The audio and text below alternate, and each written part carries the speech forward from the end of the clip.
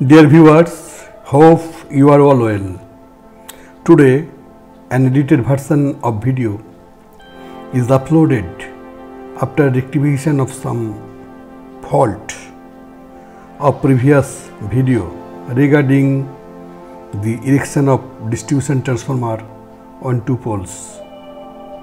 So, subject of the day is erection of two pole mounted distribution substation. Step by step of erection process is shown in this video. Please watch.